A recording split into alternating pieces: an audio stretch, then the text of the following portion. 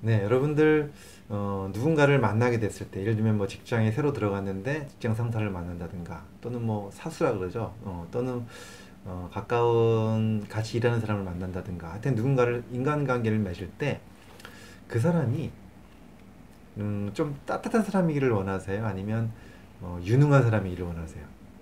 네, 무슨 얘기냐면 어, 일을 잘하고 유능한 사람이 있죠. 근데 좀 일은 조금 그렇더라도 능력이 좀 떨어지더라도 성격적으로 따뜻한 사람이 있죠.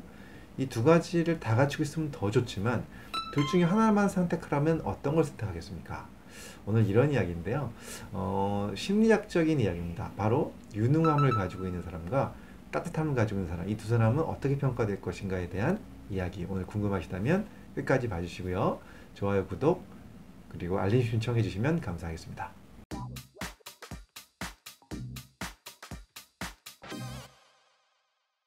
안녕하세요. 교육하는 의사 이동환입니다.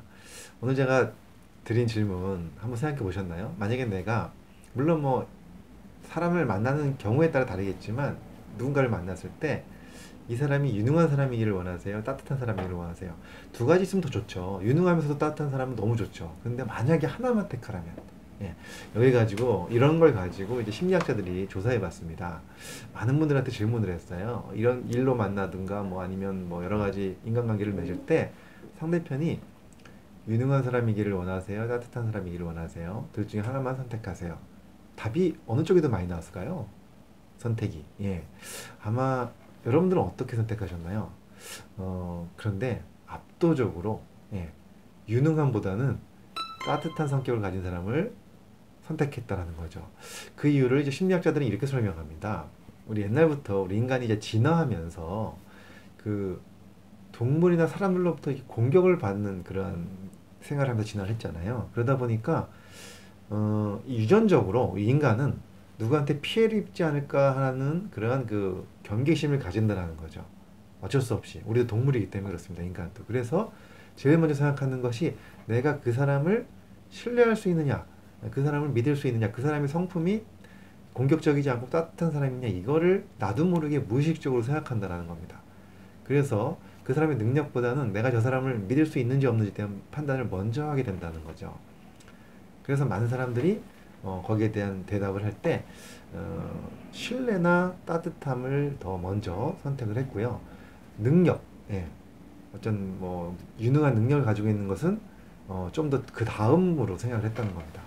어, 물론 그러다가 이제 능력 있는 사람을 어, 그 따뜻한 사람을 만났는데 신뢰할 수 있는 사람인데 그 사람이 능력까지 있다 그러면 뭐 금상첨화겠죠, 그렇죠? 그런 사람들도 물론 많이 있습니다.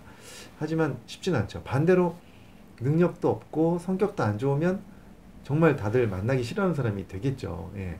근데 어, 이번에는 반대로 물어봤어요. 심리학자들이 재밌는 실험이죠. 이거는 어떤 뭐냐면 당신이 누군가를 만났을 때 그 사람한테 내가 어떤 사람처럼 비치기를 바라는가 합니다.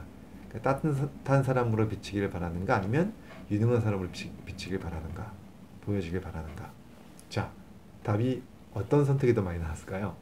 여기서는 이상하게 반대로 나왔습니다. 되게 재밌는 결과죠. 그러니까 상대방 입장에서는 당연히 신뢰할 수 있고 따뜻한 사람이기를 바라기 때문에 그렇게 비치기를 바라야 하는데 오히려 나는 상대방한테 유능한 사람으로 비치기를 바란다는 거죠. 많은 사람들이 처음 만날 때. 가만히 생각해 보면 저도 그랬던 것 같아요. 저도 옛날에 보면 어, 누군가를 처음 만났을 때 어, 내가 능력이 있다는 것을 이렇게 보여주고 싶어하는 그러한 그 생각들을 많이 하고 그런 말들을 많이 했던 것 같아요. 지금 생각해 보면. 네, 근데 그게 굉장히 지금 이런 뭐 심리학적인 결과들을 보면 어, 이런 그 설문 결과들을 보면 굉장히 큰 괴리감이 있는 거죠. 분명히 음, 상대편은 나의 유능함보다는 나의 어떤 그 따뜻한 성격이라든가 좀 어, 신뢰할 수 있는 그런 부분을 더 원하고 있었지만 나는 그런 부분을 보여주지 않고 자꾸 유능한 것처럼 할, 하려고 했던 것들. 혹시 그런 생각을 어, 그런 경우가 많이 있지 않았나 생각을 저도 해보면서 어, 많이 또 반성도 됐고 어, 정말 중요한 거는 사람들과의 관계에서는 일단은 신뢰가 먼저 중요하구나라는 생각을 이 연구를 통해서도 제가 어, 알 수 있었습니다. 어, 사실 우리가 이런 이야기들이 어떤 얼마나 많이 공감할지 모르겠습니다. 하지만 요 결과가요 참 재밌으면서도 우리가 한번 꼭 생각해 봐야 될 굉장히 중요한 이야기라고 생각합니다. 특히 인간관계에서 말이죠. 그래서 사람들을 만나 그럴 때 음, 나는 유등을 먼저 보여주고 싶어 하지만 상대방은 나의 따뜻함을 보고 싶어 한다는 사실을 한번 꼭 생각하시면서 어, 한번 우리가 어떻게 조금 더 인간관계를 잘 맺을지 생각해 볼 수 있는 시간이 되셨으면 좋겠습니다.